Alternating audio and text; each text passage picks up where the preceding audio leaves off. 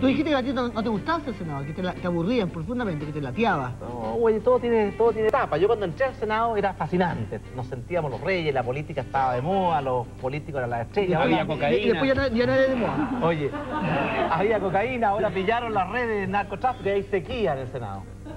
Si se nota, si ahora ya no van. Oye, van a otra parte. ¿Ve?